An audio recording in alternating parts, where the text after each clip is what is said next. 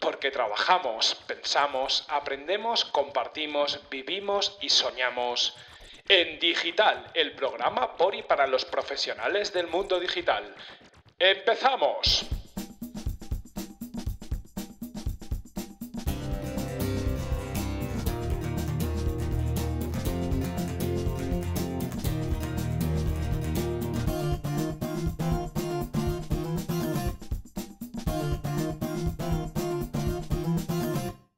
Hola a todos y bienvenidos una semana más a En Digital, el podcast por y para los profesionales del mundo digital.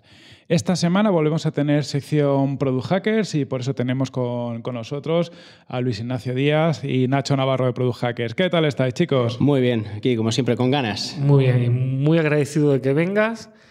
Y hoy vengo en calidad de mascota, quería decirlo, ¿vale? Nacho ha pasado de ser nuestro padre Skurum a ser la mascota oficial del- del podcast. Del, eh, del podcast.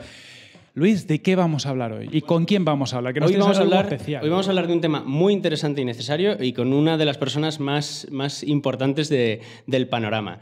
Y es un tema que al final, cuando montas una empresa, eh, lo principal y más importante es que la montas para vender, o al menos tienes que vender para que salga bien, ¿vale?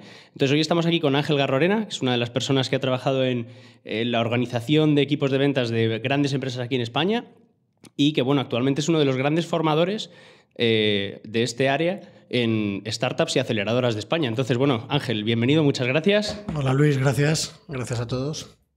Un placer tenerte, Ángel. Pues eh, igualmente, acompañaros, muchas gracias por la invitación. Eh, me, hace gracia que me digas lo de grandes, porque yo encima soy muy bajito y es como que, bueno, pues tengo que ser grande. pero- sí, pero al final todas las empresas son grandes, ¿no? Tanto una startup pequeñita que puede crecer mucho, porque es la ilusión de un emprendedor, como una gran multinacional que tiene mm, 200.000 tíos trabajando. Al final la realidad es que cualquier empresa es grande, porque cuando uno lo lanza y cuando uno trabaja en ella, le pone todo su empeño y todo su corazón, ¿no? Y eso, quieras o no, es grande siempre. Joder, macho, qué bonito, ¿eh? O sea, empezamos bien, ¿eh? ¿Cómo se ve que es del mundo de las ventas, eh? O sea, ya os ha enamorado a todos los que estáis ahí escuchando, ya, ya os tiene. Bueno, cuéntanos un poco de tu background, en qué has trabajado previamente, o sea, cómo llegaste hasta aquí. Bueno, pues eh, mi background es un poco particular, ¿no? Porque yo estudié biológicas, que es una carrera muy práctica para dedicarte a las ventas, como te puedes imaginar. Entonces, eh, llevo trabajando muchísimo siempre, ¿no? Nunca he trabajado en biología siempre he trabajado en el mundo de la comercialización de productos o servicios. Y, y además es muy gracioso porque yo cuento la anécdota muchas veces que descubrí que a mí me empecé a vender con ocho años cuando mi madre me hacía los bocadillos de chorizo del pueblo, pues, y yo se los colocaba a mis compañeros de clase eh, porque no me apetecía nada más que comerme el donut de chocolate del bar de Paco de mi colegio, ¿no? Era como que yo otra vez bocadillo de chorizo, qué horror, ¿no? Pues se lo vendía a cinco duros a mis compis, ¿no? Inventé lo que se llamaba el marketing olfativo, que es que a la hora del recreo abrías el papel albal, agitabas el bocadillo de chorizo y todo el mundo se quedaba como diciendo, joder, al que más le rugía las tripas decía este, oye, mira, macho, tengo un bocata de chorizo de burguillo del cerro que de, de la matanza de tal, y em- empecé con esta broma te lo recuerdas cuando eres mucho más mayor, porque esto de pequeño yo evidentemente me salía innato, pero sí, tengo- llevo muchos años vendiendo, ¿no? Empecé a la tierna edad de veintipocos años de manera profesional, de 23 años de manera profesional. He pasado por algunas multinacionales como pueden ser Reuters o como puede ser Xerox o Saitel, que son de las, han sido de, las- de las empresas más grandes del mundo, de los números unos en sus sectores. Eh, y desde hace muchos años, en el 2003, me, me monté mi propia empresa y he estado siempre vinculado al mundo de las ventas de una u otra manera. ¿no? Bien relacionado desde la parte del marketing, bien relacionado directamente con lo que es la ejecución de ventas y procesos comerciales. Y bueno, tú, tú lo sabes bien porque Sí, sí, además yo lo sé. tú me has sufrido en alguna ocasión que Sí, otra- sí, de hecho, de hecho creo recordar que fui una de las primeras personas que vio tus cursos, ¿no? O sea, quiero Sí. decir, esto fue en Guaira en 2012, ¿no? Sí, en Barcelona. Barcelona, Cierto. eso es Guaira Barcelona 2012. Nosotros Sí, estábamos sí, allí que acabamos de entrar y Ángel vino a darnos eh, pues el curso de formación que mola un huevo. De hecho, bueno, hace, sigue haciendo cursos. Si, si queréis hacer un curso de ventas, tiene una página web que se llama Lean Sales, Lean Sales, donde podéis... Eh, punto es. eh, punto es, ¿vale? Donde podéis encontrarlo eh, y, y registraros en alguno de sus cursos. Ahora tiene que, sal- tiene que salir por debajo eso que dice publicidad patrocinada por... No, no, y voy a decir una gran verdad porque yo hace poco, o sea, ya también te sufrí en Guaira, que Cierto. además de decir que yo creo que le dimos el premio al mejor formador, ¿no? Cierto. Sí, sí, sí, claro. Bueno, es que, de que la- sepáis que claro, Nacho y yo nos conocimos allí, en Guaira, Guaira, Barcelona. en Barcelona. Y luego hace poco volví a ir porque hice un curso y tuve la suerte de ir. Y da igual el perfil que seáis, que os dedicáis a ventas o no, si estáis en el mundo de emprendimiento, si rozáis por algún momento el tema de ventas, tenéis que ir a la, forma, a la formación. Me encanta porque yo no he venido a hablar de mi libro, pero eh, lo- ya lo No, hacen no, ellos, el- ya lo hacen ellos. ¿eh? Es la verdad, ¿eh? no nos llevamos nada por ahora. Y no, no, no nos llevamos nada de nada, pero es muy recomendable, seáis el perfil que seáis. Bueno, la verdad, Nacho, es que mira, lo divertido de esto es que la, eh, todo el mundo es vendedor, que es una cosa que obviamos, ¿no? Hay mucha gente que le tiene como tirria a ser vendedor y parece que, que ser vendedor es una cosa, bueno, está denostada, que, ah, joder, es un vende burras, vende motos, un cuentista, un charlatán, se nos tacha de muchas cosas. Pero es cierto que eh, todo el mundo vende. Y, yo cuento muchas veces las anécdotas, ¿no? De que con 14 años, cuando teníamos 14 años, nuestra misión era convencer a nuestros padres de que nos dejaran salir hasta más tarde, ¿no? Y para eso había que venderle con una argumentación de mira lo que me pasa, que he quedado con mis colegas, que, o que me gusta una chica y quiero salir hasta más tarde, o cualquier historia. Al final estabas tratando de convencer. Y un vendedor no es otra cosa que alguien que está intentando convencer a los demás, ¿no? Entonces, esa es, esa es la realidad. Todo el mundo vende, todo el mundo trata de utilizar su mejor argumentación y eh, todo el mundo trata de buscar quién es la persona que le compra la idea, el producto, el servicio, etcétera. Y cuando se obvia, cuando se olvida uno, pues ocurre lo que ocurre, que es que las empresas no funcionan o que las personas acaban en el psicólogo tomando pastillitas o lo que sea, ¿no? Y, y es curioso porque muchas veces nos olvidamos de las ventas más veces de lo que parece, ¿no? En el mundo startup, por ejemplo, lo hemos hablado muchas veces.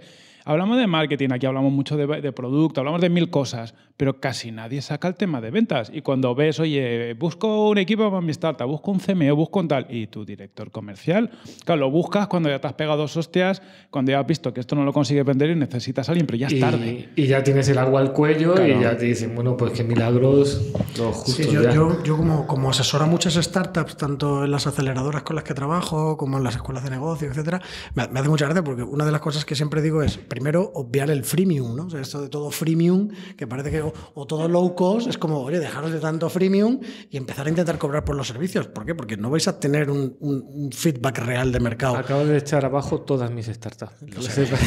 Y todos los programas anteriores. No, pero a ver, yo creo que tú, pu- o sea, hacer un MVP de, de mercado en el que estás haciendo un experimento tal, bueno, pues puede tener una lógica, pero que también es cierto que no todos los modelos de, de- de producto o servicio que se lanzan al mercado tengan que ser freemium. Es que en un momento determinado tienes que tener claro que tienes que ver si hay trazabilidad y transaccionabilidad con, con- con productos y servicios. De hecho, Y- yo creo, creo que se basa, o sea, esto que comentas se basa principalmente en el miedo que tiene un emprendedor a poner Al su rechazo, producto al ante un sí, precio y que sea un fracaso. Totalmente. Y sería el mejor, sería lo mejor que te puede pasar, el darte cuenta muy pronto que tu producto mm, la gente no está dispuesta pe- a pagar. Pero todos hemos pecado, ¿eh? Yo, por ejemplo, en el 2010 lancé una startup, una .com, que puse precios tan baratos, tan baratos, tan baratos, porque era una empresa de era una .com, era como producto internet, y entonces dices, bueno, ¿y cómo, cómo tarifico, no? Pues voy a poner el típico pricing de internet, de todo super low cost aquí y muy tal, para ganar masa masiva de usuarios, cuando era un B2B online, pero era un B2B. Y, y me recuerdo una vez que en una reunión con una multinacional norteamericana que se dedica a temas de printing, servicios, servidores y tal, que no puedo decir, pero empieza por H, eh, eh, y me dijo, es que no te puedo comprar esto porque es demasiado barato. Dice, o sea, si no me subes el precio de esto, yo no puedo justificarlo en, mesa de compras, sí, perdón, en, en- en departamento de compras, no, no llegabas a ir a mesa de compras porque no había, no había eh, concurso, pero no puedo justificarlo. Y claro, si no lo puedo justificar, es que me, se me van a decir que, qué mierda estás comprando. Y digo, joder, pero a ti el producto te gusta. Y dice, no, no, me encanta. Digo, si te lo multiplico por cuatro, dice, eso encaja en precio. Y entonces inmediatamente pensé, dije, joder, pues los 25 clientes que he hecho antes a, a precio he sido gilipollas, literalmente. Porque claro, te espera. Podía haberle sacado mucho más porque eran multinacionales del, del perfil de esta grande, ¿no? Entonces dices, este, ¿por qué no aprenderemos? Y mira que las ventas se me daban bien, pero el pricing en ese momento era como, ¿por qué no aprenderemos a medir bien las necesidades de los clientes para saber cuánto cobrar? Porque al final la subsistencia de mi compañía se basa muchas veces en que yo tenga suficiente margen ¿no? de contribución y que sea capaz de ganar recursos para mantener tanto el staff como para mantener eh, la creación de producto o el ataque de nuevo mercado. Y se nos olvida, se nos olvida muchas veces, incluso sabiendo de esto. ¿eh? Además, yo creo que especialmente en mundo digital. Es un poco lo que comentaba Corti y lo que comentas tú, ¿no? De que al final nos metemos en digital, pensamos que ponemos una landing, hacemos una campaña de Facebook Ads y que los clientes van a venir ahí solos, ¿no? ¿Sabes lo que pasa? Que yo lo veo mucho en muchas startups. El problema no es que tú pongas la landing, es que nos cuesta hacerla.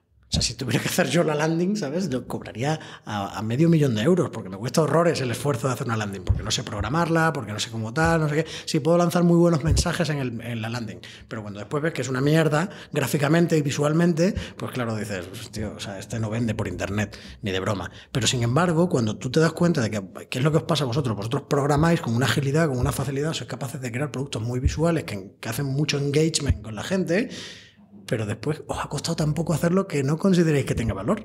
Y sí tiene mucho valor. Tiene un valor que, que, tiene que percibir el cliente y que es el que tiene que estar dispuesto a pagar por él. Y quizá ahí es donde está la dificultad, ¿no? En cómo, cómo transmitimos. Cómo, que me, imagínate, estamos en una mentoría, tú y yo, yo, como siempre, bueno, yo tengo que decir que en 2012 ya le agarré y dije, oye, ¿te puedo ir llamando de vez en cuando para preguntarte cosas? Entonces ya me le he quedado de mentor desde entonces, ¿sabes?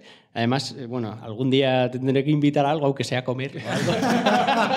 o sea, pero, eh, Prefiero acciones, ¿eh? No, pero bueno, ¿qué, qué me bueno, ya hablaremos. ¿Qué me recomendarías de, del tema de, por ejemplo, si yo soy un emprendedor, acabo de lanzar algo, o sea, ¿cómo puedo ponerlo en valor? ¿Cómo puedo...? Bueno, mira, uno de los primeros errores es que se ataca contra un mercado tan masivo eh, que, no, eres, no, tienes la capacidad de testar si realmente tu producto, tu servicio puesto en, mercado eh, tiene lógica, ¿no? Porque, porque parece que eh, me da igual que sea en un modelo B2B o un modelo B2C, parece que es como que le tiro a todo. ¿no? Y el emprendedor lanza, oh, tengo esta súper fantástica idea de negocio, la lanzo al mercado. Y la lanzas al mercado y es como que, a ver si me responden. No, no tío, o sea, si le lanzas a 27 perfiles distintos de cliente, tendrás 27 di respuestas diferentes. Entonces, o eres capaz de segmentar muy bien cuál es tu perfil de mercado y hacer experimentos contra perfiles concretos de clientes, o el problema es que estás haciendo un esfuerzo sobrehumano en tratar de captar clientes de manera muy masiva y que te van a generar eh, muchas respuestas distintas que no vas a saber analizar. O sea que si yo tuviera que dar una recomendación es súper especializaros en un perfil concreto de cliente y hacer un experimento de venta contra ese perfil específico. Y, y ved qué pasa. Pero no un perfil específico no es un cliente, a lo mejor son 15 o 20, no lo sé, depende del producto, depende del servicio. Si es un B2B, serán 15 o 20, si es un B2C, pues a lo mejor necesitas 500. Pero ataca solo ese perfil. O sea, si son eh, todo hombres de 20 a 30 que tienen no sé qué característica sociodemográfica y socioeconómica, tal, no sé qué, pues todos iguales. O sea, y analiza, y analiza el detalle, si no, esto es una locura. ¿Puede ser algo más alejado de lo que solemos hacer? Todo. es que lo malo de hablar con Ángel, que es un terreno que todos hemos pasado, ¿quién no ha pasado por ventas? Si has emprendido, si has hecho cualquier cosa, has pasado por vender y cuando hablas con el que sabe, dices, joder, es que no lo he podido hacer peor durante todas las veces que lo he intentado. Y, y aún así muchas funcionan, ¿no, Nacho? O sea, es que sí, sí, sí, bueno, al final... Eso es lo que eh, llamamos la segmentación casual. Qué casualidad que Qué te lo has encontrado al cliente, ¿no? Y, y ha aparecido el tipo y te ha dicho, oye, Totalmente. efectivamente este me lo ha comprado. Pero ¿eres capaz de analizar por qué te lo han comprado? ¿Eres capaz de repetir el modelo? Esa es una de las claves de esto, ¿no? Eso ahí, em, es que me venía a la cabeza porque es, es algo que cuando te cuentan las historias de Estados Unidos se cuenta, pero nadie lo hacemos. Que es, por ejemplo, todos los grandes, los Facebook, los Airbnb y demás, todos han empezado vendiendo en una ciudad en Estados Unidos, ni siquiera en un estado, en una ciudad. Y tiene mucho sentido con lo que ha dicho Ángel. Oye, vamos a probar en esta ciudad a, entrar a los usuarios entre 18 y 25 años y ver qué pase. Cuando tenga todos esos insights, los replico en otras ciudades que tengan similitudes. Aquí en España no empezamos ni siquiera segmentando por Madrid.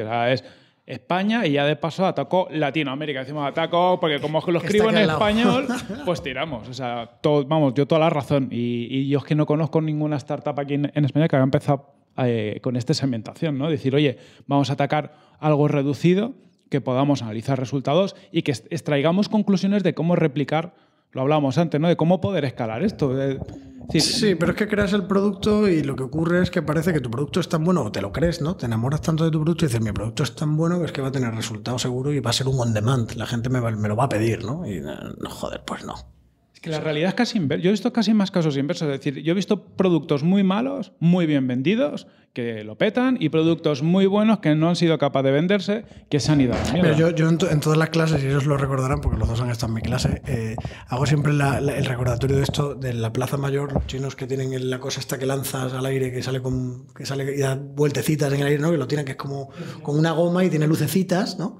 Y dices, oye, y esto, macho, tú te vas a otra ciudad y lo vuelves a ver. Y te vas a otra ciudad, tal, y bueno, son vendedores callejeros, no están profesionalizados, ¿no? Pero lo curioso es, ¿quién fabrica esa pieza?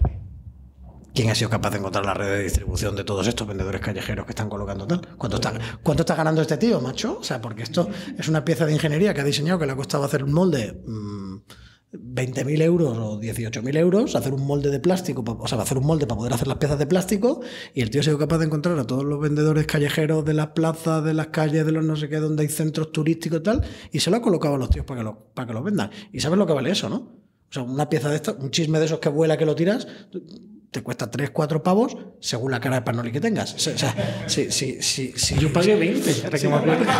Claro, o sea, si, si tú eres un tío como yo, por ejemplo, que vas con tus hijos a la Plaza Mayor en Madrid, pues como los niños corren como locos detrás de las lucecitas, pues, pues, pues ya vale 6 euros, ¿no? Yo le pido hasta rapeles de descuento, oye, macho, que son 3, ¿sabes? Facilítame un poco las cosas, no me lo pongas tan complicado, ¿sabes? A ver cómo... Porque además el, el modelo de, de negocio, o sea, el modelo de cierre de venta es un cierre de posesión. Al niño le dan el- el- la pieza y a ver quién se la quita ahora. Entonces son cosas súper curiosas, pero, pero claro, te paras a pensar y dices, bueno, ¿y esto? O sea, ¿a quién se le ocurrió lanzar cosas al aire que daban vueltas con luces de LED? Y, y- y sobre todo, ¿a quién se le ocurrió montar un canal de distribución a través de los vendedores callejeros, de hecho chinos, pero bueno, me da igual, pues, la que sea, ¿no? Y dices, hostia, ¿y este tío está ganando dinero? Me encantaría saber quién es. ¿Sabes? Porque, porque ¿quién- Seguramente sea chino también. Sí, sí, pero vamos, pero, sí, sí. pero pero ¿quién, que- le ha, quién la- quién ha pensado en la estrategia de, este No, no, tío es de brutal. distribución? Sí, ¿no? Porque es que lo encuentras en todas las ciudades, ¿no? Te vas a Málaga, lo encuentras, te vas a, a Coruña, lo encuentras, te vas a Barcelona, lo encuentras, y quién lo gestiona y cómo se distribuye y cómo está pensado. Y, entonces, toda esa relación, toda esa experimentación, es- ¿y quién decide si, la- si el test se hace en Madrid, que hay más tráfico de gente, o se hace tal? O Porque yo, o sea, esto no lo ves en todas las ciudades pequeñitas, por ejemplo, ¿no? Yo, yo soy de Badajoz y cuando voy a Badajoz, pues no lo veo en la plaza principal de allí de la ciudad.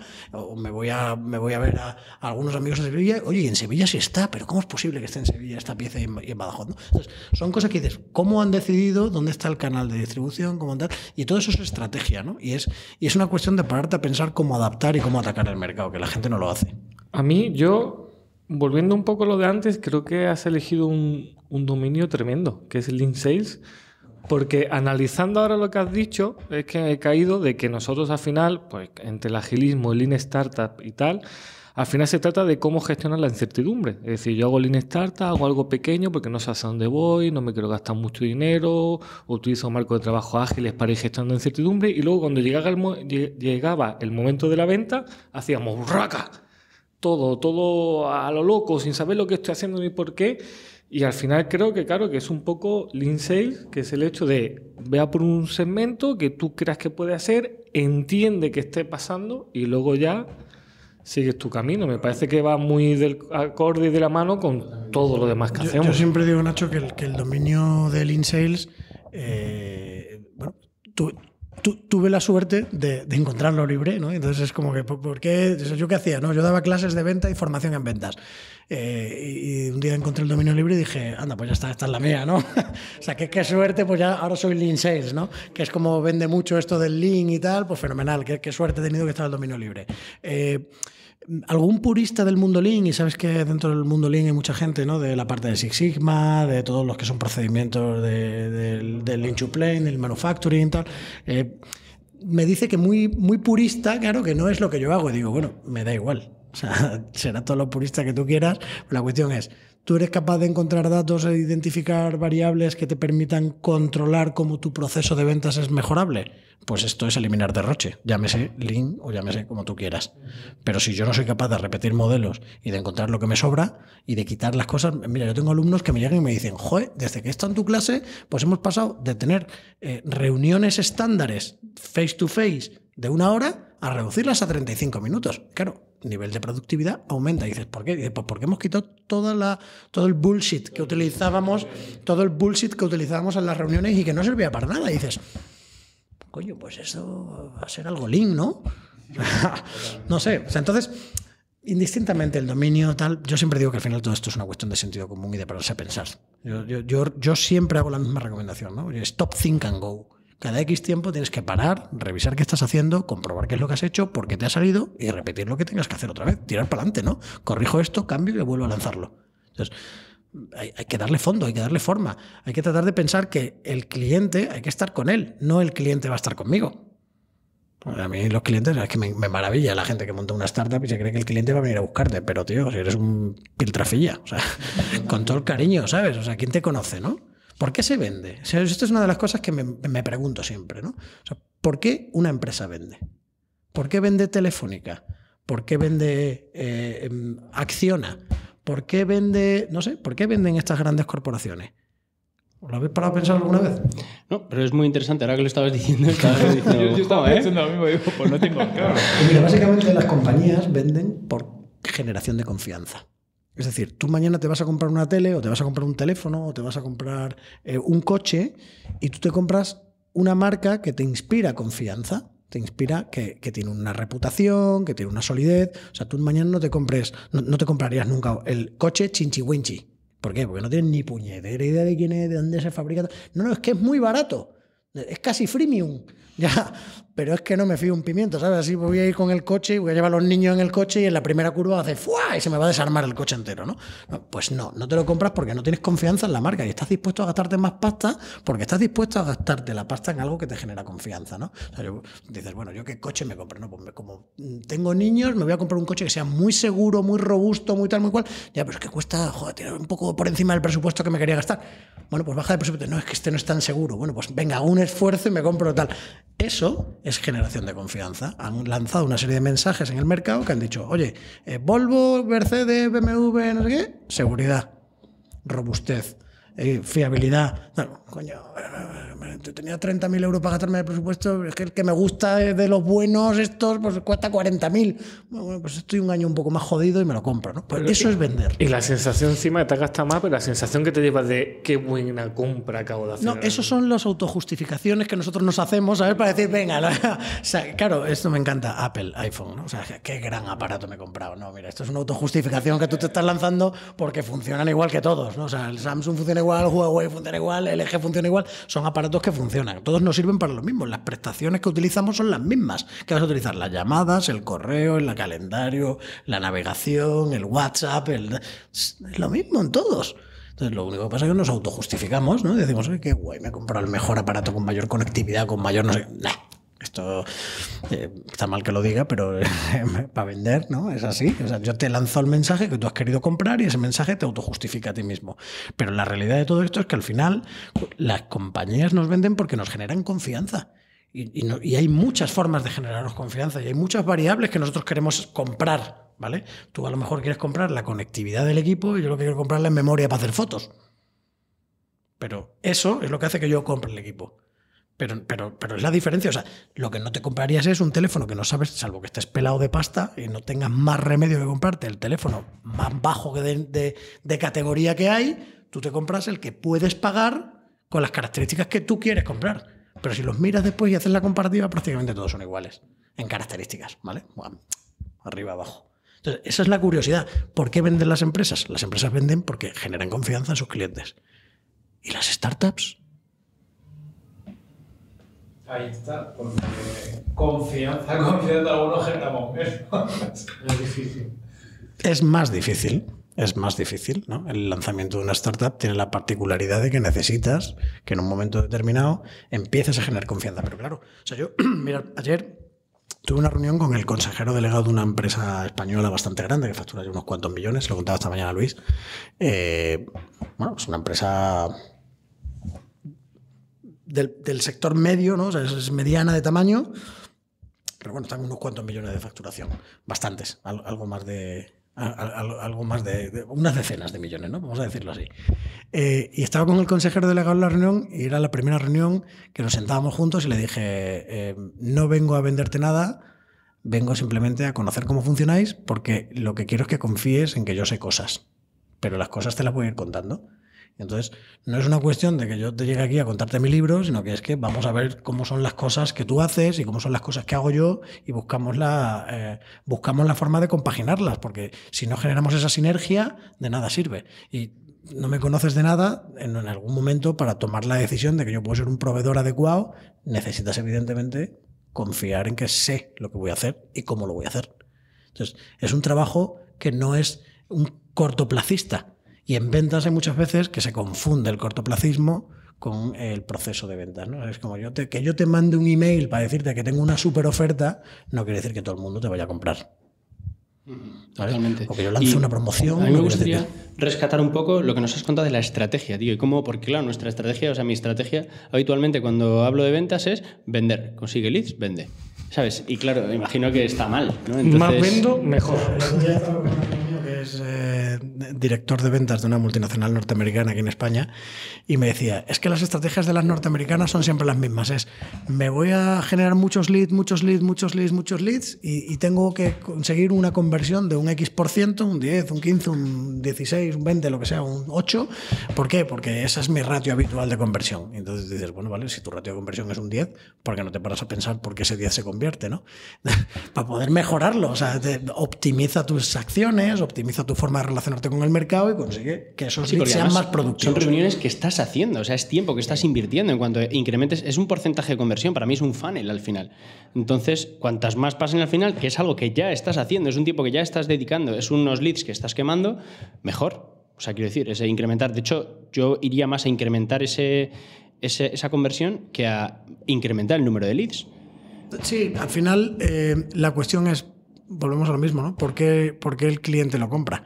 Entonces, si el cliente está contento con lo que tú le estás provocando, eh, las sensaciones y tal, cómo se lo estás vendiendo, la parte emocional, la parte de, de solución, la parte de producto, todo, es una mezcla, ¿no? Eh, puedes repetirlo. Si no lo haces, pues estamos hablando de, de, de esa venta casual, ¿no? Ha ocurrido y, y no sabemos por qué ha ¿Y ocurrido. cómo, no cómo podría repetirlo. plantearse una estrategia? ¿Sabes? Que podamos contar en, el- en lo que da el podcast. Tampoco te digo que sueltes aquí. Esto vamos a tener que empezar a dar una clase online ya directamente. No, pero bueno, o sea, simplemente contar un poco cómo, o sea, para, para en, en tema digital, cómo podríamos enfocarlo, o sea, cómo podríamos descubrir las necesidades de nuestros usuarios, exponerles un argumento y cómo y luego cómo cerrar, que luego ya llegamos a lo de cerrar, que a mí es la parte que mola. A ver, yo, o sea, desde luego, lo que hay que hacer es no vender de manera con inercia, ¿no? No vender con la inercia que llegamos todos, de, ah, tengo un producto y me voy al mercado como sea. No, o sea, antes de ir al mercado como sea, piensa muy bien qué es lo que puede pasar en el mercado. Entonces, evidentemente, o sea, la primera clave es lo que hablábamos al principio de hacer una segmentación razonable. O sea, no le puedes atacar a todo el mundo. ¿no? Yo, recuerdo siempre, y lo cuento algunas veces, una anécdota de un, de un empresario que me llamó en una ocasión que me dijo que tenía un producto que estaba subvencionado por Europa al 90% y que salía baratísimo para todo el mundo y que la gracia de todo esto era que dec- decía, no, no, es que esto es para todas las pymes de España. Digo, bueno, es que hay 3.200.000 pymes. O sea, dime cuál de estos 3.200.000 pymes es la que tienen más necesidad.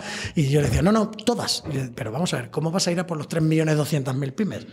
No, no, no, todas. Entonces, claro, inmediatamente le cambié el discurso. Le dije, fenomenal, eh, necesito 3 millones de euros para campañas en televisión, quiero contratar un call center de 50 personas. eh, de- claro, entonces déjame de fondos, por favor, unos aproximadamente entre 6 millones, 6 millones y medio, y con eso te puedo hacer una campaña para captar a los 3 millones 200.000 pymes que tenemos en España. No, no, es que solo tengo 20.000 euros de disposición cuando en centro. Entonces, haz el favor de decirme quién es tu cliente prioritario, cuál es de todas esas pymes es el que más lo va a necesitar o crees tú que más lo va a necesitar. Haz el ejercicio de pensar tú, que no lo quiero hacer yo, ¿eh? y a partir de ahí ponemos un foco en, un segmento concreto. ¿Por qué? Porque si no, pues estamos pegando tiros, eh, estamos matando moscas a cañonazos, que es una bestialidad, no se puede. Entonces, si tienes que diseñar estrategia, lo primero que tienes que tener claro es dónde ir, cómo ir y por qué ir. Y a partir de ahí empezar a trabajar en cómo va a ser todo tu proceso. O sea, es párate a pensar qué puede ocurrir. Es que no, no, se paran a pensarlo. Párate a pensar qué, qué ocurre en el mercado, por qué ocurre, cómo ocurre, qué es lo que deberías de hacer, cómo deberías de hacerlo, qué puede pasar, qué no puede pasar, cuáles son las cosas buenas que tú le puedes presentar al cliente, qué es lo que te esperas que te encuentres en- en- enfrente. O sea, define un poco tus pasos. No necesitas que estés súper profesionalizado si no sabes hacerlo, pero necesitas pararte a pensar y seguir un manual con el que tú te compares. O sea, yo me pongo unos objetivos, una actividad, un procedimiento y lo sigo y lo comparo. Y después digo, oye, pues esto lo he hecho bien, o esto lo he hecho mal, o esto no lo sé, o esto tal. Porque si no, lo que estás haciendo es salir a vender de manera con inercia, ¿no? Salir a vender de manera extremadamente intuitiva y que no sepas ni siquiera lo que ha pasado y por qué ha pasado. Y es súper curioso. Y además cada día lo está vendiendo de una forma distinta muchas Totalmente, veces. que- totalmente. Que, dices, bueno, este que vendí hace un mes ya ni siquiera sé cómo fui. Pero, pero, pero fíjate, eh, es muy curioso porque incluso muchas multinacionales eh, tienen un proceso de eh, inducción o de, de entrada de nuevos vendedores en las compañías en las cuales su modelo de aprendizaje está basado en copiar a sus compañeros que llevan más tiempo. Entonces tú entras en la empresa y te dicen, pégate a este y aprende de él durante el próximo mes, ¿no? Y dices, ostras, y, y este tío, ¿qué conocimiento me va a transmitir, ¿no? Y te, te enseñan procedimiento de, no, pues mira, haces la oferta, haces no sé qué, y entonces le tal y cual. Y te vas a 3, 3, 4, 5, 10 visitas con este tipo y este tipo ves cómo está relacionándose con los clientes y dices, ah, mira, aquí dijo no sé qué, voy a intentar acordarme de este argumento para cuando me, suel cuando me lo suelte un cliente, pues yo pueda contraargumentar o pueda decir tal. Pero claro, eso es un procedimiento que es absolutamente irrisorio. Entonces, está basado en la intuición de un vendedor que no sabe si es bueno. Aunque lleve 10, 15 años en la compañía. Entonces, claro, ¿qué ocurre? Que, que, que hay un problema muy serio de cómo es el ataque de mercado o la evolución de los mercados o la evolución de los vendedores o incluso del tipo la tipología de clientes, ¿no? O sea, si no sabemos adaptarnos a los nuevos clientes que nos están llegando, ¿cómo vamos a hacer nuestros procesos? Como lo hacían nuestros mayores. Eso es estrategia todo, es pararte a pensar. Qué bueno, tío. Y además plantear objetivos y luego mirar hacia atrás, analizar lo que ha pasado. Bueno, ¿no? es que, que estabas comentando que... Sí, hay un problema también muy grande en muchas empresas que es que los análisis de objetivos están haciendo las revisiones anuales, como muchos semestrales, ¿no? Entonces tú dices, bueno, ¿cómo ha sido el año? Bueno, fenomenal, pues hemos hecho no sé qué objetivos tal, y hemos llegado, vale. Y pues muy bien, ha ido ¿no? bien. Muy bien. teníamos, un previsión de, teníamos una previsión de crecimiento de un 3, un 5% y lo hemos conseguido vale. Y eso pero... es todo lo que se podía hacer, ¿no? O sea, esas son las preguntas y, que había que... Y, y, a mí me encanta, ¿no? Me dice, bueno, pues crece un 5%. ¿Contra cuánto, ¿Contra cuánto esfuerzo nuevo? Claro. Ah, pues no. ¿Cuánto ha crecido la competencia en el mismo periodo? O sea, igual has quemado el doble de mercado y no lo sabes para crecer un 5%, ¿no? O cuánto ha crecido la competencia, efectivamente. Yo, fíjate, por las competencias no me suelo preocupar, pero me preocupo mucho por cómo han ocurrido las cosas. Cuando eres buen vendedor, ¿por qué te vas a preocupar por No, la es maravilloso. Que haya competencia es maravilloso. Es una oportunidad de mercado siempre. Tienes algo, algo, alguien contra quien te comparan. Eso es una ventaja. Que haya competencia es una ventaja, porque el problema es que no tengan contra quién compararte.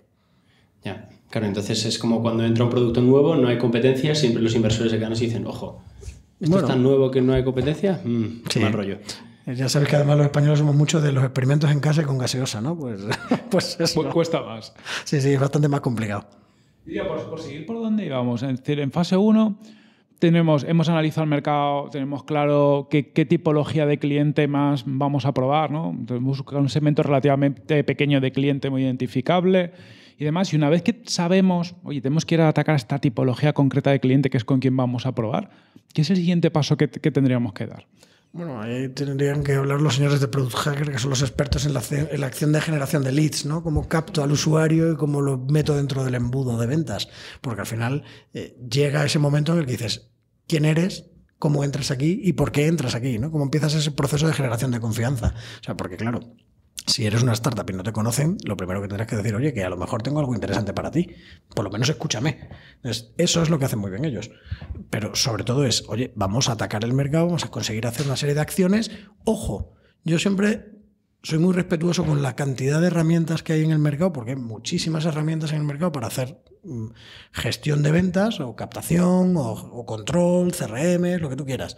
Eh, cada vez salen más, ¿no? Acciones de inbound marketing con la herramienta no sé qué, acciones de ciclos de no sé cuánto, growth hacking con tal, eh, control de tal, y al final dices, bueno, y todo esto está muy bien, pero ¿cuál es el resultado de, la actividad y cuánto estás quemando y cómo, y cómo estás haciendo? Es que la herramienta no te salva la acción. Sea, la estrategia es la que define qué tipo de herramientas deberías de utilizar, pero no tienes por qué utilizar una, puede haber 27 parecidas. La cuestión es que tú te adaptes a la gestión de una, que es uno de los problemas más habituales, ¿no? la cantidad de empresas que se creen. No, ya tengo yo el sistema de, gestión de email con el flujo de no sé qué que me reporta directamente automático al CRM tal. De, ya, bueno, pero es que eso, o sea, ¿y si has configurado mal el flujo? ¿Qué ha pasado? Pues es que no sabes lo que ocurre, ¿no? Y si, y si el, sistema te está cobrando más de lo que realmente tal y no te está dando el perfilado adecuado del cliente, pues tenemos otro problema, ¿no? Entonces, la clave de todo esto es pensar muy bien cómo se hace y después definir y probar y experimentar las distintas herramientas. Pero de captación de leads, yo creo que estos señores de Product Hacker saben más que yo. Pero entonces entraríamos en eso. Ahí, con técnicas de marketing podemos captar eh, los leads, que bueno, algo hemos hablado y, y algo más hablaremos en, en, otros programas. Y esos leads, mmm, yo sobre todo pensando en una empresa B2B, ¿no? porque al final decimos en, cuando hablábamos de temas digitales, las empresas B2C las podemos cerrar en, en online. Habría con un funnel de conversión en online, que, que, tiene más que ver con usabilidad, con producto, evidentemente con generar la confianza que tú dices y todo este tipo de cosas.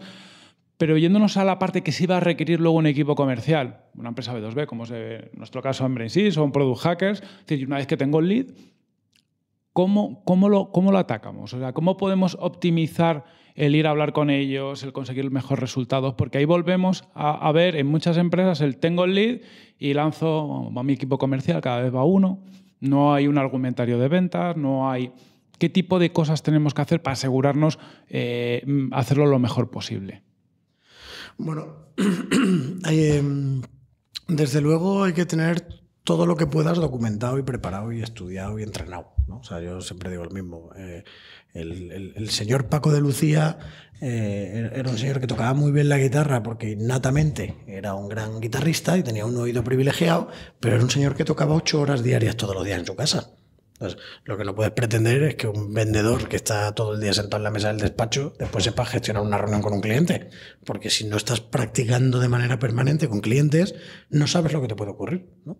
No sabes si se te va a caer el, cable del sonido o si, no, o si se te va a saltar una cuerda durante la ejecución de una pieza. O, si, o, mm, Rafa Nadal, ¿no? que, me, es un, me parece un personaje eh, a, nivel profesional o, deportivo espectacular. ¿no? Oye, Rafa Nadal es un señor que ha estado jugando al tenis a unos niveles que le ha machacado a prácticamente todo el mundo, a todos los grandes jugadores, una de las leyendas del mundo. Tuvo una caída, bajó de nivel, se fue perdiendo y ha vuelto a remontar, siendo ya mucho más mayor en las pistas que sus, contrarios. ¿Y por qué? Es un señor que se pasa horas dándole la pelota. Horas. Si tú no practicas, ¿cómo lo vas a hacer? ¿no? Entonces, eh, tú lo primero que yo recomiendo es practicar. Y, y- y algunas veces en esas prácticas tienes que estar dispuesto a sacrificar algunas de tus acciones para que no salgan. Pero eh, hay que entender que tienes que tener todo lo más programado posible, ¿no? Si, si tú no sabes dar golpes de izquierda, Tienes que practicarlo. pues que evidentemente no te saldrán los golpes de izquierda cuando estés de cara a un cliente, ¿no? Si, si no sabes hacer voleas, pues cuando estés en un cliente y tengas que hacer una volea para rematar, pues no vas a saber hacerla. Entonces te vas a quedar así esperando a ver si por inanición ocurre, ¿no? De que, bueno, yo voy a esperar a ver si él me dice algo. Pues no, pues tienes que perseguir la situación, ¿no? Entonces, un vendedor es alguien que, por regla general, toma iniciativas. ¿Por qué? Porque sabe y las tiene preparadas. Entonces, hay mil cosas que se tienen que preparar, mil. Pero, pero cada compañía tiene que ir decidiendo cuáles son las acciones que tiene que preparar dentro de un proceso de ventas para ir ejecutando las distintas fases, ¿no? Que ahora, por cierto, aprovecho para decir que es una de las cosas más habituales, confundir fases con acciones. Las acciones ocurren dentro de las distintas fases del embudo y el embudo en sí no es una acción. O las distintas fases del embudo no son acciones como tal. O sea, que tú hagas lead generation no es una acción. Para hacer lead generation tienes 40.000 acciones distintas.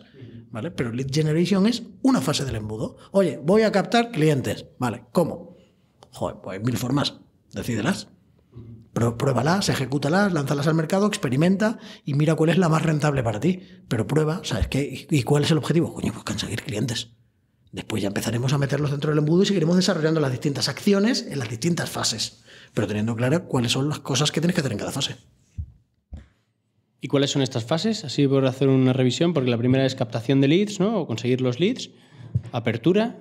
Joder, casi me las sé, pero creo que ahora ya. Ahora vienen las que no me Te sé. van a suspender ahora, ¿eh? Y luego ya lo típico es apertura, cierre, no, desarrollo, ¿no? Hay otra que es como desa- desarrollo.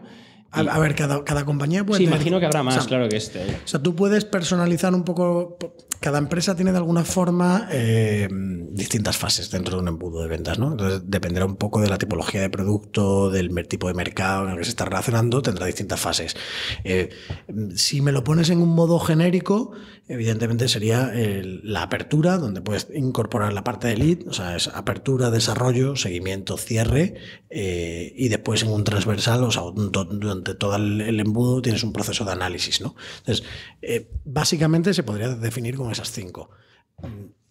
¿Quieres complicarlo? Lo puedes complicar todo lo que tú quieras, porque tú puedes dividir las fases en microfases, ¿no? En, en segmentar de alguna forma ese trocito y diciendo, oye, pues mira, dentro de la fase tal tiene que ocurrir esta característica, después esta, después este, después esta. Entonces, eso serían fases.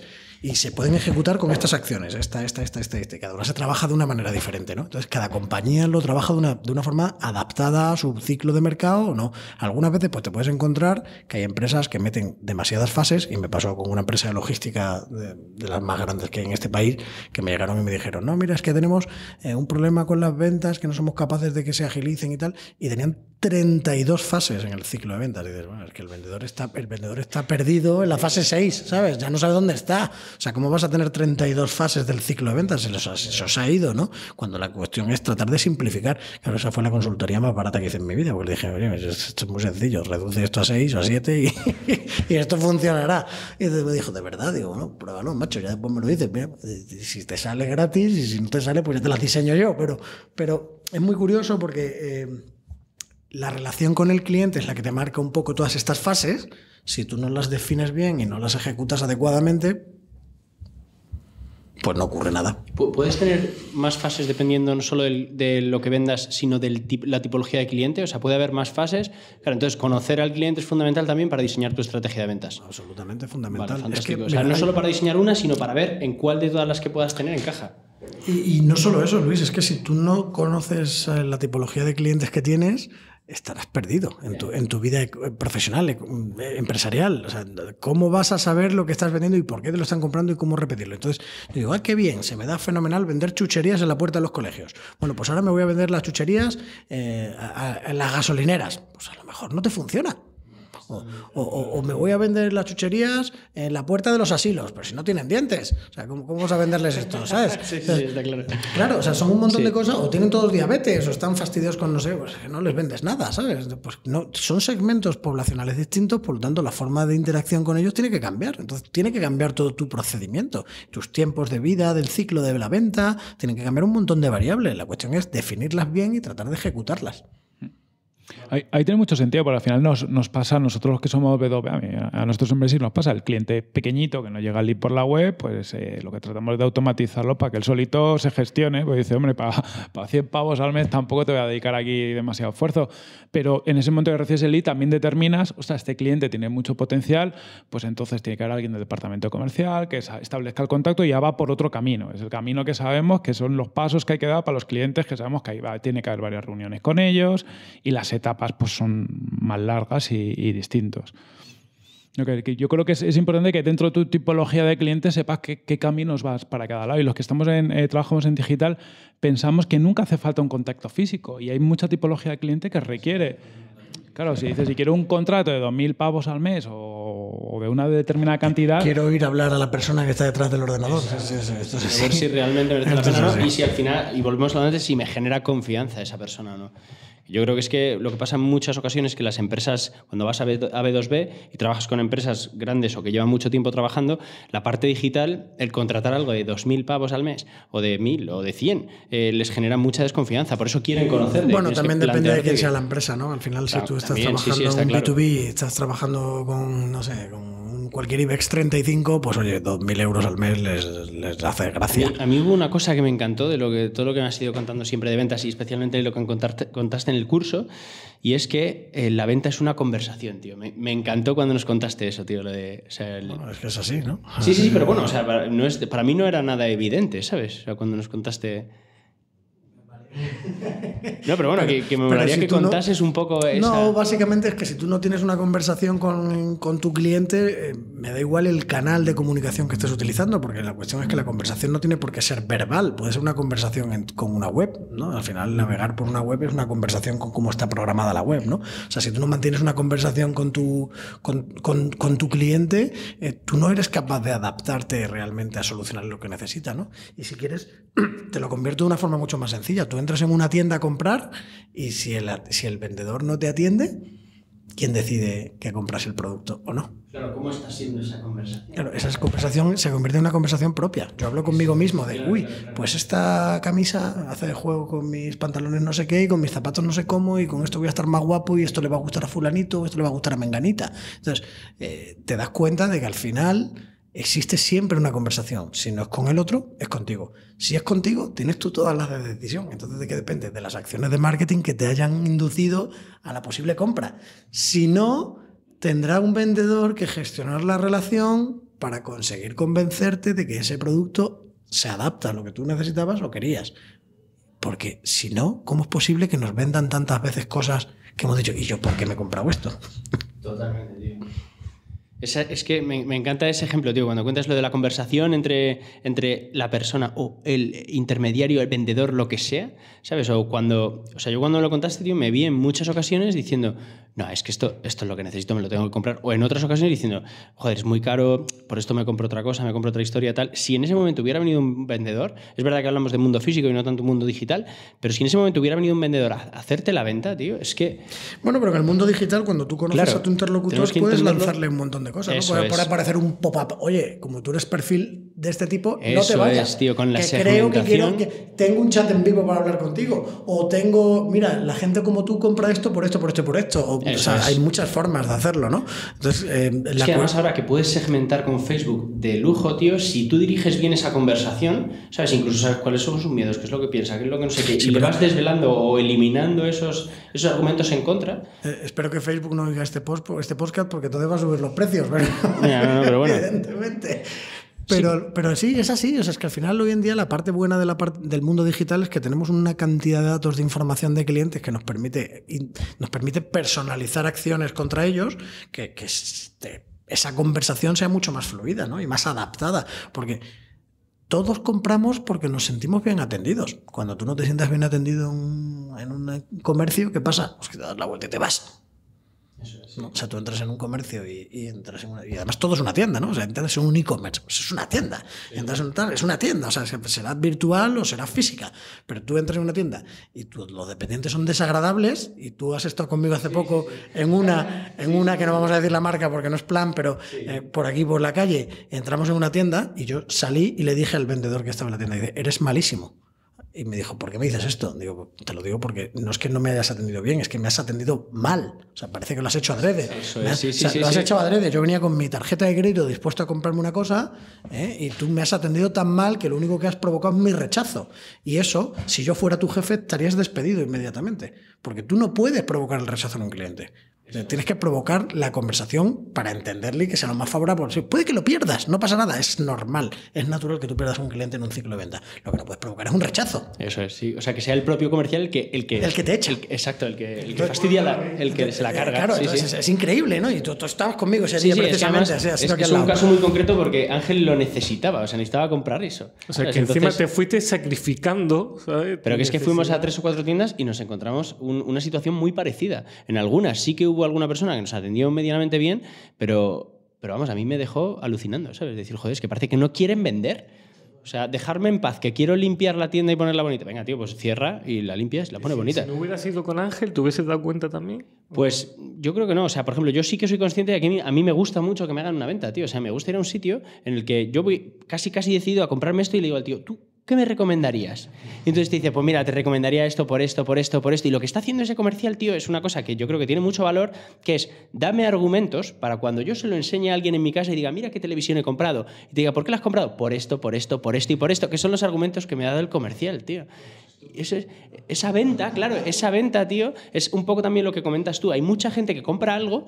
Yo me acuerdo que por el caso de un colega que cambió de iPhone a Android y estuvo un mes repitiendo lo contento que estaba de haberse comprado un Android, tío, lo bueno que era. Exacto. Yo soy el número uno en eso, ¿eh? pero el número uno en autojustificación. Pero es que así somos más felices. O sea, tú cuando compras y hay un buen comercial, tío, sales de una tienda contento. Pero, pero ahí, con los comerciales es importante porque em, yo creo que hay dos grandes fallos en los comerciales y tiene- tienes que ser cuando contratas un comercial, ¿no? las empresas que somos técnicos por lo general y contratamos a alguien comercial, el, y Ángel lo ha dicho muy bien, el ser comercial tiene que ser capaz de generar una conversación con el cliente. Yo tenido algo- alguna vez alguna experiencia con comerciales que no hablan, o sea, no, no tienen una conversación, sueltan su discurso, venga aquí a contar mi producto, pim pam, y luego no consiguen resultados, porque el otro le cuenta su problema y el comercial no es capaz de adaptar el discurso que, para que resuelva el problema. Y a veces pasa en la situación contraria, porque decirlo de las tiendas. Yo soy un comprador totalmente inverso a Luis. Yo voy a una tienda, tengo muy claro lo que quiero, quiero que me dejen en paz, mirar mis cosas, y hay, hay vendedores que me detectan, que intentan hablar conmigo en cuanto ven mi reacción. Ah, no, tú tranquilo, si necesitas cualquier cosa, me tienes aquí y me tienen ganado,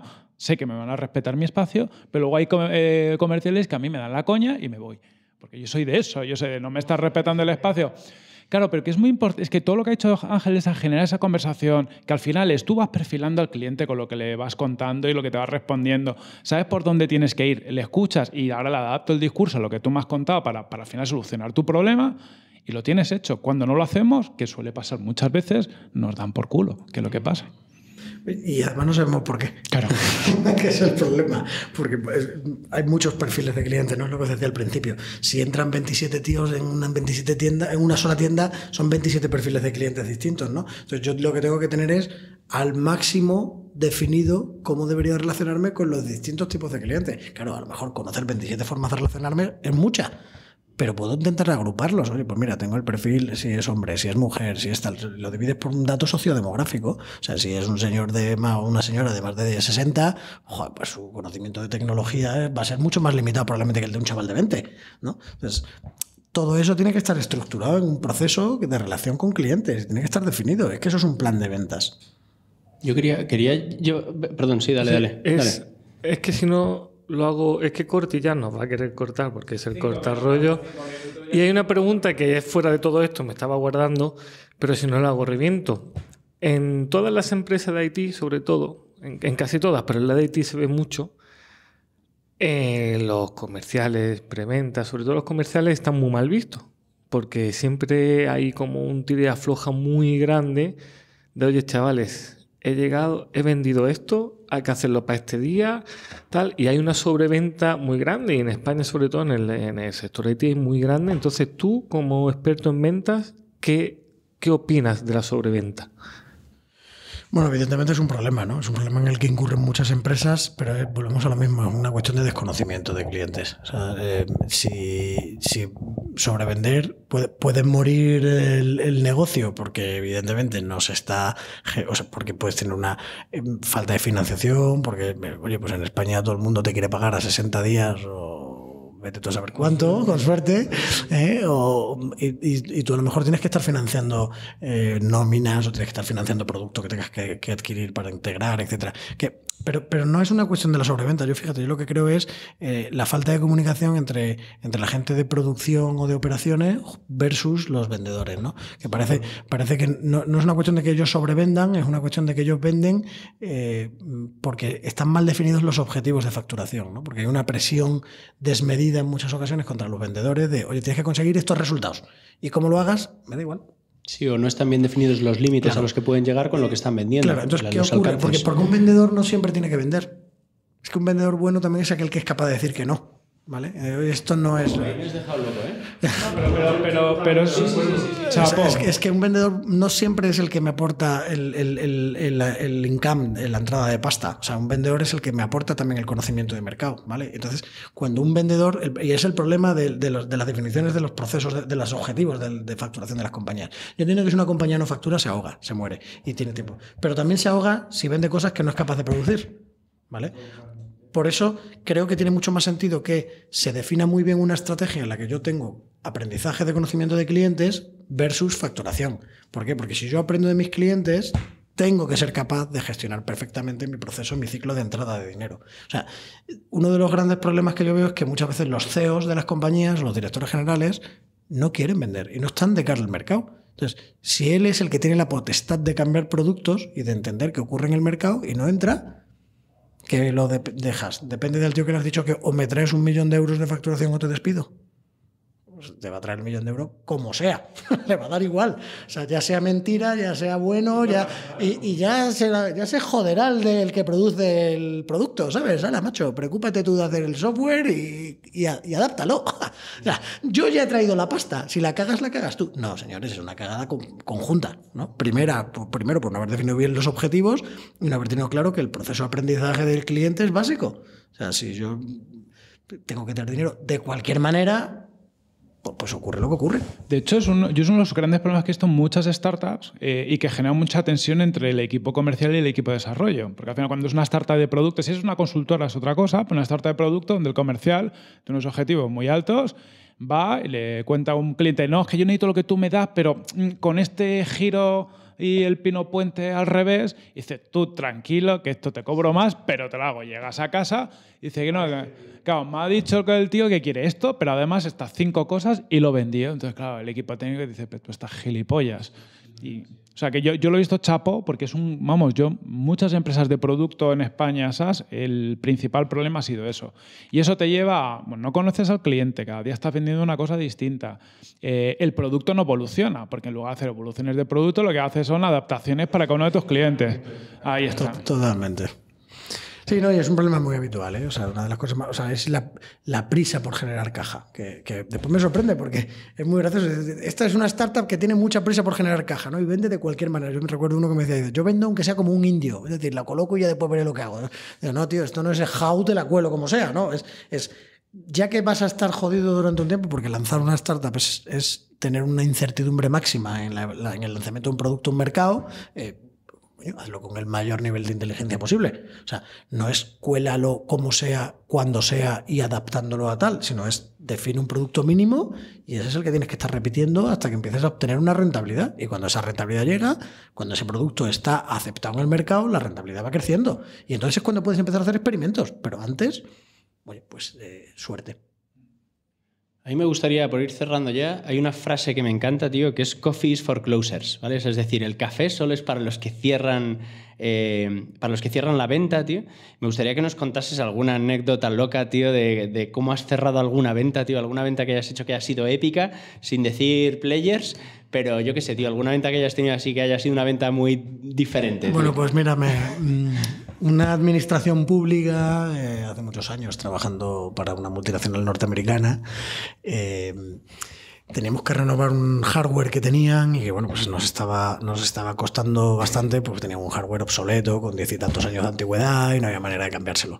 Entonces, eh, recuerdo que en una reunión con la responsable de compras de, esta, organización, le dije, oye, mm, ¿por qué no cambias este software, este hardware que ya está muy obsoleto? Y tal? Bueno, no, no, porque me funciona, porque va muy bien, porque no tengo ningún problema, porque tal cual. Y yo le dije, "Ve, es que vamos a tener un problema con las piezas. no sé qué". Dice, por cierto, se me ha roto una pieza de no sé cuánto y con esta pieza que se me ha roto, eh, me estoy encontrando la situación de que, de que no, no voy a poder producir la cantidad que yo quiero de, de servicio. Y dije, bueno, pues, tal. no, es que estoy muy cabreado con vosotros porque he llamado a la, he llamado a la, a la, a la- a la gente de atención al cliente y no han sido capaces de darme la solución con, con las piezas de recambio que necesito. Claro, es que, tu, es que tu hardware tiene 15, 16 años de antigüedad y ya no se fabrican estas piezas.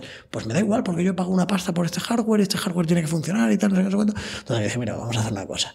Voy a llamar yo al director de atención al cliente aquí, delante tuya, y le voy a decir que te consiga la pieza, porque tú eres un cliente prioritario para nosotros y si no, esto no está. Entonces yo llamé al cliente, Alfonso, ¿qué tal? Soy Ángel, no sé qué. Oye, macho, estoy aquí con este cliente, tal y que cual, que necesita urgentemente esta pieza porque se le ha estropeado el hardware.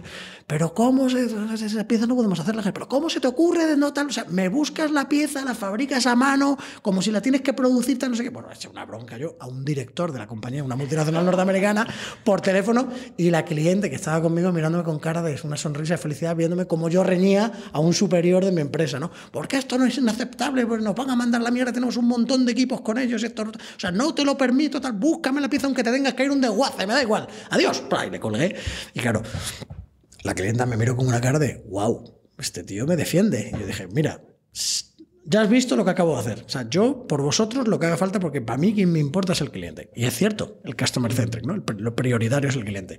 Después me fui y le lloré un poquito al director de, Fue un bonito, fue un bonito último día en esa empresa. no, no, no, no. Yo llegué y le dije, Alfonso, perdóname, tienes que entender que el cliente era muy importante, que viera que la, la generación de confianza, de que yo estoy peleando por ellos. tal. Oye, si no se consigue la pieza, me lo dice, yo mañana le digo que no la hemos conseguido y ya está. ¿sabes? Y efectivamente, al día siguiente le dije, una semana después le dije, mira, eh, se va a Paloma. Paloma, no, hemos conseguido eh, la pieza, definitivamente esto es un desastre, entiendo que quieres cambiar de proveedor, yo he visto que he hecho todo lo imposible por conseguir de la pieza y no, no, no se puede. O sea, no hay, no hay piezas de recambio la única opción es que cambies el equipo. Yo puedo hacerte algún descuento en el cambio de equipo como compensación, pero no puedo, no, no puedo hacer otra cosa. Y por supuesto, viendo cómo había luchado por, por ella, me, me- me Lo compró. me compró, Qué el, equipo, bueno, me tío, compró el equipo nuevo. O sea, te has ganado el café, tío. Te has ganado el café porque cierras ventas, tío. Ahora cobras a Luis, porque Luis dice, hagan el café, pero luego nunca te invita al café, le tienes que invitar tú. Pues me debes muchos, ¿eh, Luis? Ya, ya, ya, como tengo que poner a contarlos, pero bueno. Bueno, chicos, tenemos que ir acabando. Ahora, cuando acabemos esto, pues me voy a asegurar de que Luis le metió un café de verdad, ya por fin.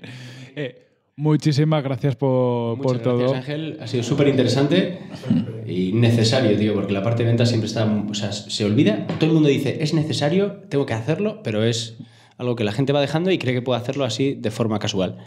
Linksales.es o leansales.es, ¿eh? que lo decimos en castellano y en inglés. Al final es una cuestión de entender y comprender cómo hacer el proceso. un curso en breve, ¿no? O sea, que si la Eh, en abril probablemente lance uno. Fantástico, tío. Muy Cuando tenga la info, pásanosla, la, la distribuimos por toda nuestra audiencia. Y a los que estéis escuchando ahí, ya sabéis, si tenéis algún problema con ventas en vuestra startup, eh, pues en leansales.es eh, tenéis formación y el contacto para, para que os ayuden.